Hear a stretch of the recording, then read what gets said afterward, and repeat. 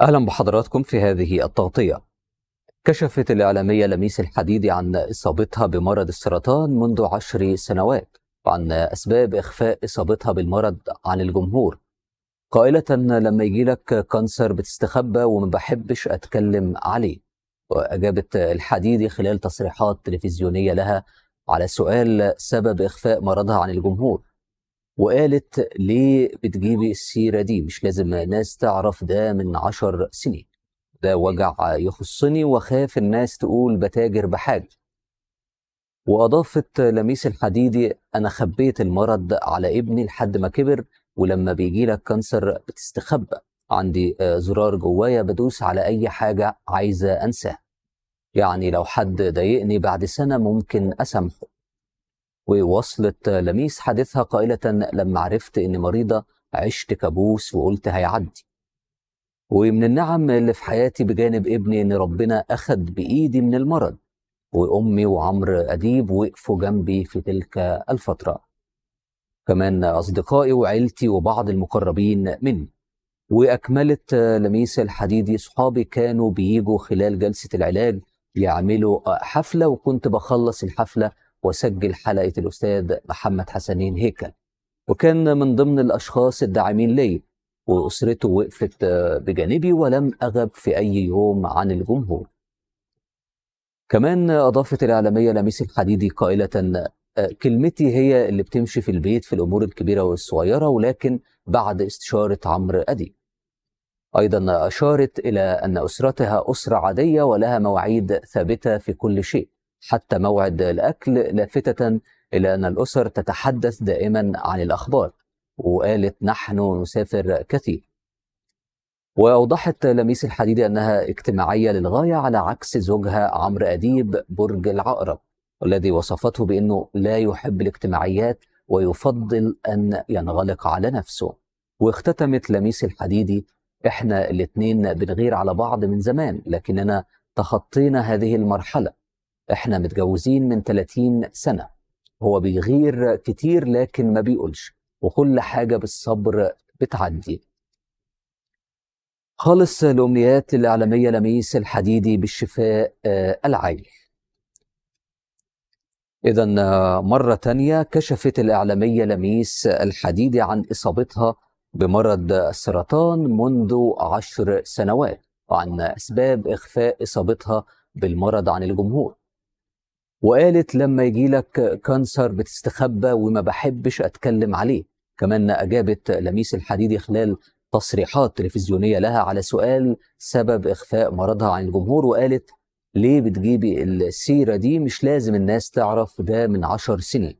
وده وجع يخصني وخاف الناس تقول إني بتاجر بحاجة وأضافت لميس الحديدي أنا خبيت المرض على ابني لحد ما كبر ولما بيجي لك كانسر بتستخبى وعندي زرار جوايا بدوس على أي حاجة عايزة أنساها.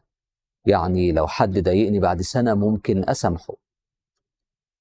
ووصلت لميس الحديدي حديثها وقالت لما عرفت إني مريضة عشت كابوس وقلت هيعدي ومن النعم اللي في حياتي بجانب ابني إن ربنا أخد بإيدي من المرض.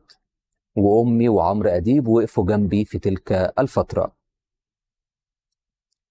أيضا أصدقائي وعيلتي وبعض المقربين مني.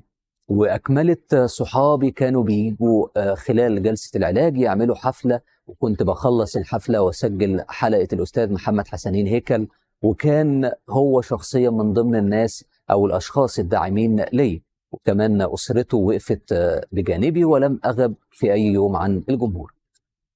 كمان أضافت لميس الحديدي وقالت كلمتي هي اللي بتمشي في البيت في الأمور الكبيرة والصغيرة ولكن بعد استشارة عمرو أديب وأشارت لميس الحديدي إلى أن أسرتها أسرة عادية ولها مواعيد ثابتة في كل شيء حتى موعد الأكل ولفتت إلى أن الأسر تتحدث دائما عن الأخبار مردفة. نحن نسافر كثير.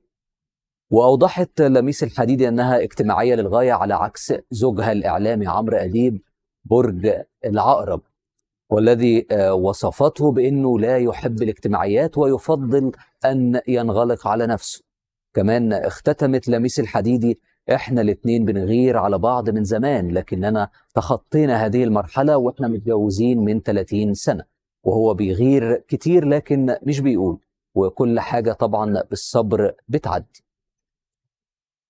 مرة تانية خالص الأمنيات للإعلامية لميس الحديدي بالشفاء العاجل حيث كشفت منذ آه، قليل عن إصابتها بمرض السرطان منذ عشر سنوات وعن أسباب إخفاء إصابتها بالمرض عن الجمهور.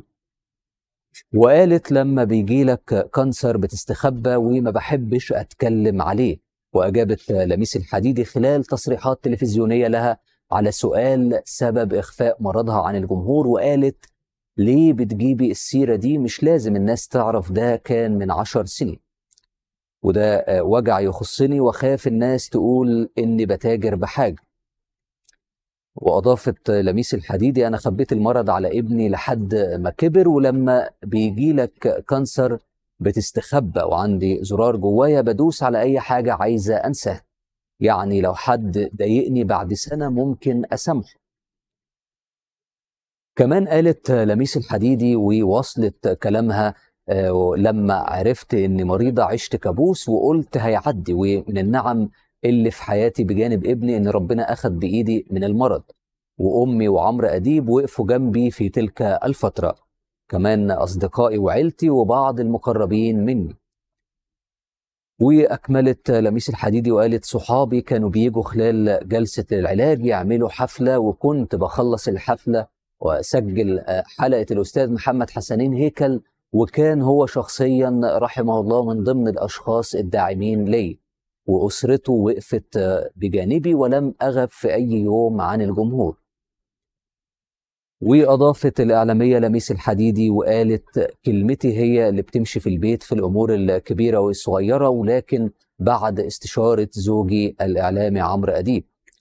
وأشارت لميس الحديدي إلى أن أسرتها أسرة عادية وليها مواعيد ثابتة في كل شيء حتى موعد الأكل ولفتت إلى أن الأسر تتحدث دائما عن الأخبار مردفة نحن نسافر كثير.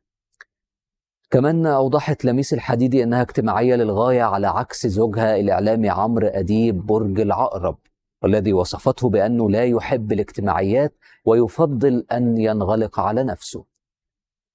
واختتمت لميس الحديدي وقالت إحنا الاتنين بنغير على بعض من زمان لكن لكننا تخطينا هذه المرحلة وإحنا متجوزين من 30 سنة وهو بيغير كتير لكن ما بيقولش كل حاجة بالصبر بتعدي. خالص الأمنيات للإعلامية لميس الحديدي بالشفاء العاجل واللي كشفت منذ قليل عن إصابتها بمرض السرطان منذ عشر سنوات وعن أسباب إخفاء إصابتها بالمرض عن الجمهور وقالت لما يجي لك كانسر بتستخبى وما بحبش أتكلم عليه. وأجابت لميس الحديدي خلال تصريحات تلفزيونية على سؤال سبب إخفاء مرضها عن الجمهور وقالت ليه بتجيبي السيرة دي؟ مش لازم الناس تعرف ده من عشر سنين. وده وجع يخصني وخاف الناس تقول بتاجر بحاجة وأضافت لميس الحديدي أنا خبيت المرض على ابني لحد ما كبر ولما بيجي لك كانسر بتستخبى وعندي زرار جوايا بدوس على أي حاجة عايزة أنساه يعني لو حد ضايقني بعد سنة ممكن أسامحه ووصلت لميس الحديدي حديثها وقالت لما عرفت إن مريضة عشت كابوس وقلت هيعدي. ومن النعم اللي في حياتي بجانب ابني إنه ربنا أخذ بإيدي من المرض. وأمي وعمرو أديب وقفوا جنبي في تلك الفترة. كمان أصدقائي وعيلتي وبعض المقربين مني. وكملت لميس الحديدي وقالت صحابي كانوا بيجوا خلال جلسة العلاج يعملوا حفلة وكنت بخلص الحفلة وسجل حلقة الأستاذ محمد حسنين هيكل وكان هو شخصيا من ضمن الأشخاص الداعمين لي وأسرته وقفت بجانبي ولم أغب في أي يوم عن الجمهور.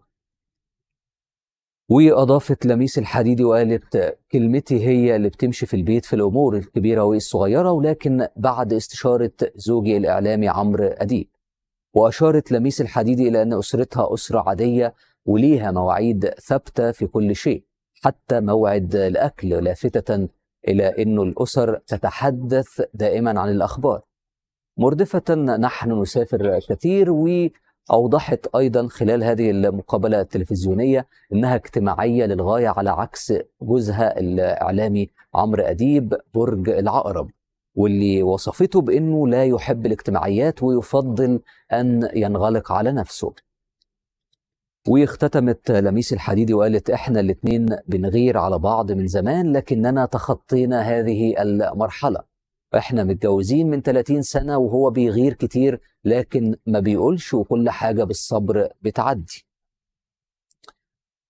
مرة تانية يعني خالص الأمنيات للإعلامية لميس الحديدي بالشفاء آه العاجل ويعني كشفت الإعلامية لميس الحديدي منذ آه دقائق قليلة أو يعني ساعات قليلة عن إصابتها بمرض السرطان منذ عشر آه سنوات وعن أسباب إخفاء إصابتها بالمرض عن الجمهور وقالت لما بيجي لك كانسر بتستخبى وما بحبش أتكلم عليه وأجابت خلال تصريحات تلفزيونية لها على سؤال سبب إخفاء مرضها عن الجمهور وقالت ليه بتجيبي السيرة دي؟ مش لازم الناس تعرف ده كان ده من عشر سنين وده وجع يخصني وأخاف الناس تقول بتاجر بحاجة وأضافت لميس الحديدي وقالت أنا خبيت المرض على ابني لحد ما كبر ولما بيجي لك كانسر بتستخبى وعندي زرار جوايا بدوس على أي حاجة عايزة أنساه يعني لو حد ضايقني بعد سنة ممكن أسامحه. ووصلت الإعلامية لميس الحديدي حديثها وقالت لما عرفت إن مريضة عشت كابوس وقلت هيعدي ومن النعم اللي في حياتي بجانب ابني إنه ربنا أخذ بإيدي من المرض. كمان أمي وعمرو أديب وقفوا جنبي في تلك الفترة. بالإضافة طبعا لأصدقائي وعيلتي وبعض المقربين مني وأكملت صحابي كانوا بيجوا خلال جلسة العلاج يعملوا حفلة وكنت بخلص الحفلة وبسجل حلقة الأستاذ محمد حسنين هيكل وكان هو شخصيا من ضمن الأشخاص الداعمين لي وأسرته وقفت بجانبي ولم أغب في أي يوم عن الجمهور. كمان أضافت الإعلامية لميس الحديدي وقالت كلمتي هي اللي بتمشي في البيت في الأمور الكبيرة والصغيرة ولكن بعد استشارة عمرو أديب وأشارت لميس الحديدي إلى أن أسرتها أسرة عادية ولها مواعيد ثابتة في كل شيء. حتى موعد الأكل لافتة إلى أن الأسر تتحدث دائما عن الأخبار مردفة نحن نسافر كثير.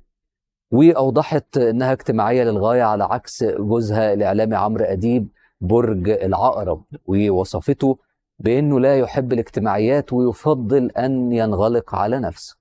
واختتمت لميس الحديدي وقالت إحنا الاتنين بنغير على بعض من زمان لكننا تخطينا هذه المرحلة. إحنا متجوزين من 30 سنة وهو بيغير كتير لكن ما بيقولش وكل حاجة بالصبر بتعدي.